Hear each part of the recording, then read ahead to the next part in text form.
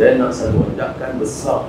Supaya dalam satu dua tahun orang tahu Kuala Lumpur terkenal dengan mercu tanah yang baik hotel yang besar tapi gerai yang berselerak seluruh wilayah yang bersih dan ada tahap keindahannya. Itu pendekatan saya. Beri juga perumahan yang menunggu rumah puluhan ribu.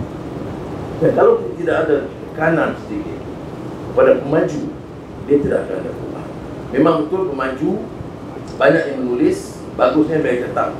Berani jumpa saya untuk cakap soal ini sikit bagus juga. Dia takut sikit.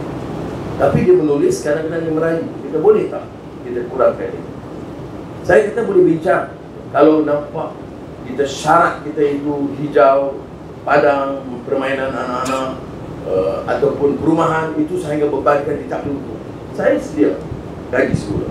Tetapi dia mesti terima kenyataan pentadbiran kerajaan perpaduan dengan negara badan ini tidak akan betul langsung untuk menyokong usaha maju tetapi dengan syarat jaga kawasan hijau jaga kawasan lapangan permainan dan uh, wujudkan perumahan rakyat. Juga saya nak tanya. Yang bekerja besok di di kompleks dan pejabat yang ribuan ini siapa nak kerja? Dia nak duduk di mana?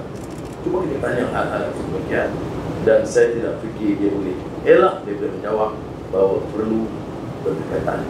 Jadi ini beberapa pendekatan kita. Dan saya harap uh, projek seperti ini akan diperbanyakkan dan sebaik itu saya nak anjurkan kepada pemaju-pemaju supaya anggap ini selain daripada syarat yang ditekankan juga corporate social responsibility CSR untuk baiki kawasan-kawasan kita terutama kawasan-kawasan yang agak berpendapatan rendah seperti di sini